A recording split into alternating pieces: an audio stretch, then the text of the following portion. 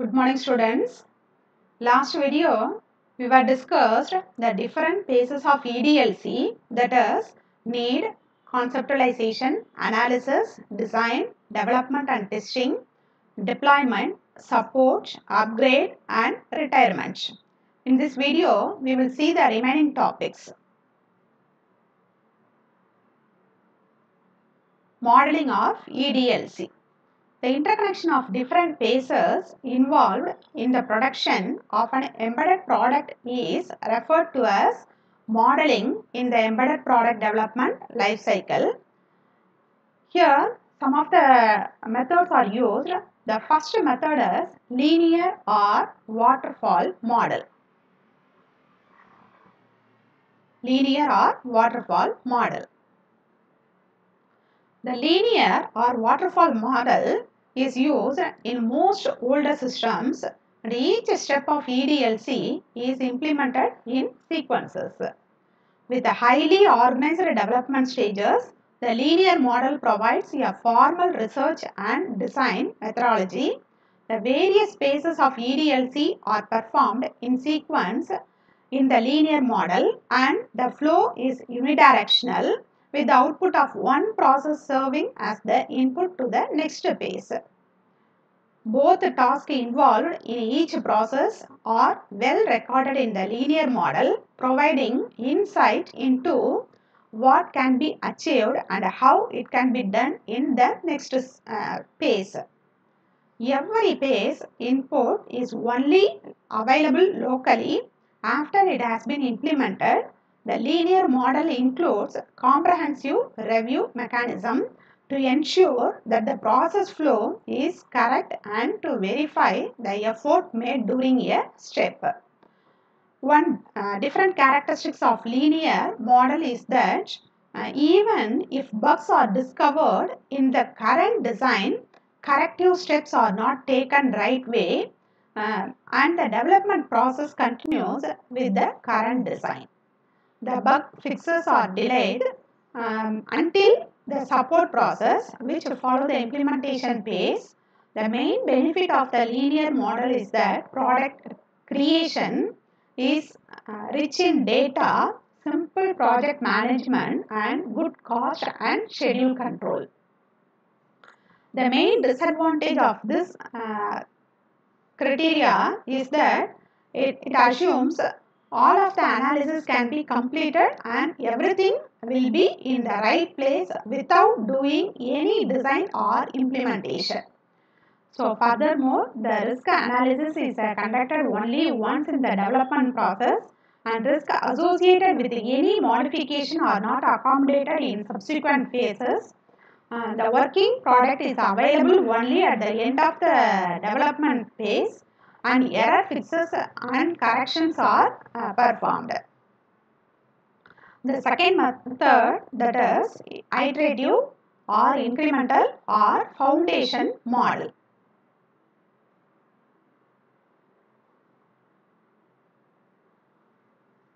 The iterative fountain model can be thought um, as a sequence of a linear model that have been cascaded. The incremental model is a subset of a iterative model in which the criteria are known at the start and divided into classes.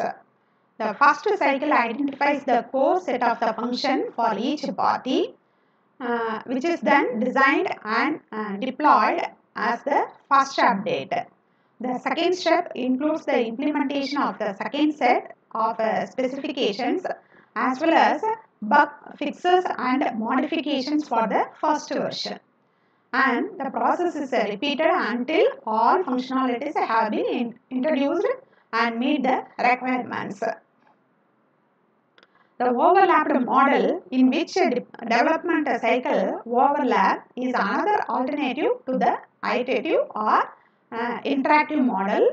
Uh, if you look closely at this model, you will noti uh, notice that uh, each uh, loop is interconnected in the same way that a fountains water moves up and then down and then moves up and down again.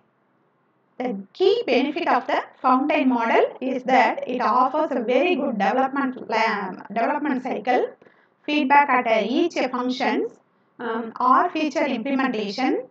Uh, so uh, the data can be used as a guide for a potential similar product development. The iterative model generates a working product model uh, with uh, at least uh, bare, uh, with at least uh, the bare minimum of uh, features uh, during the first cycle. Uh, risk is uh, speed uh, through each individual cycle and is easily reduced. Uh, when compared to the linear model, project management and uh, testing are much easier. Another significant benefit is that product production can be halted at any point with a uh, bare minimum working product.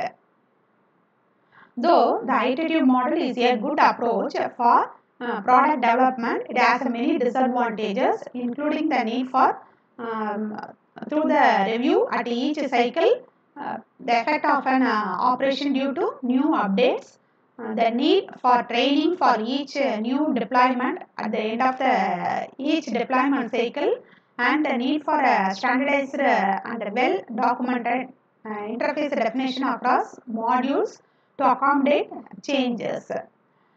The iterative or incremental model is used in a uh, product uh, creation uh, where the risk is uh, very high when a linear model is used. The risk is uh, distributed over many periods by using an uh, iterative model. Uh, since each cycle generates a working model, this model is ideally adapted for uh, product uh, production where ongoing support for each cycle is not guaranteed. Um, so this is called iterative or incremental or fountain model. Then the third type that is a phototyping or evolutionary model. This model is similar to the iterative model in that the product is developed in cycles.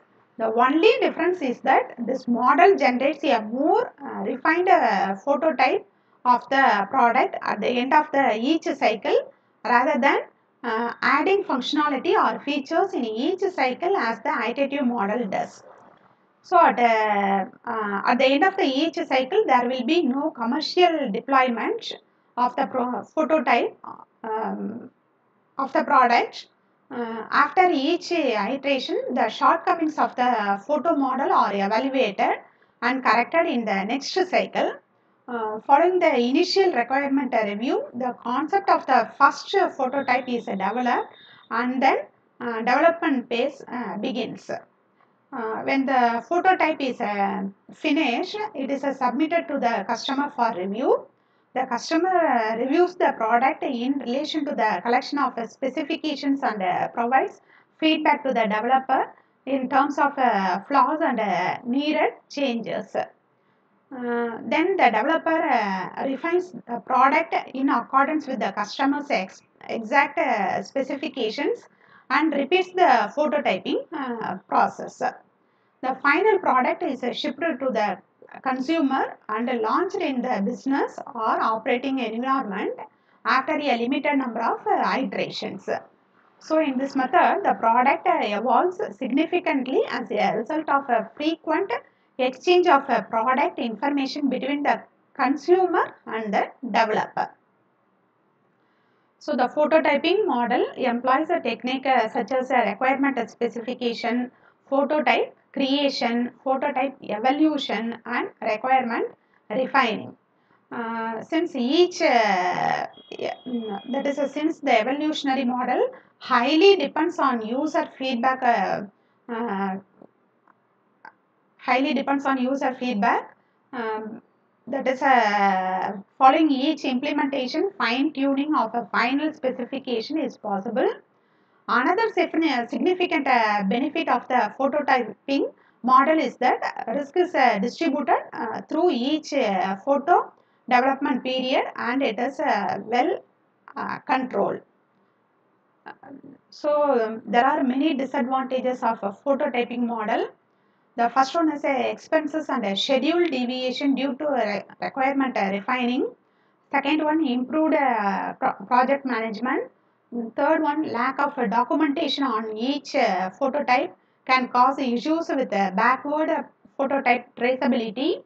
Fourth one, increased configuration management practices. Uh, so the phototyping model is the most commonly used product creation model in the embedded uh, product industry.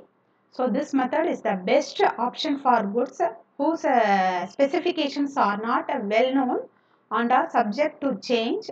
This model is not suitable for uh, project involving the improvement of an existing product. So the basic phototyping model can differ slightly depending uh, on the project management. The next model that is a spiral model. Uh, this is the fourth uh, type of model. This model combines elements of the linear and phototyping models to provide the best risk minimized EDLC model possible. Uh, Barry Boehm invented the spiral model in 1988. Um, product production begins with the uh, project specification and progresses through all stages of EDLC in multiple phases. The behavior involved in the spiral model can be identified with the four quadrant of a spiral and, uh, and are uh, explained below. Uh, the first one is uh, determine objectives, alternatives and constraints. Second step, uh, evaluate alternatives, identify and resolve risk. Third step, develop and test. Fourth step, plan. The spiral model is ideally suited for, suited, uh, suited for um, production of a complex embedded goods and situation where the customer requirement change. So customer feedback at each point allows the addition of specifications and technological improvement. Uh, risk assessment at each level uh, aids in risk uh, preparation and uh, mitigation. Uh, the customer evaluates the proto model uh, produced at each point against various criteria such as power, weakness, risk and so on and the final product is designed based on the final uh, prototype after agreement with the client.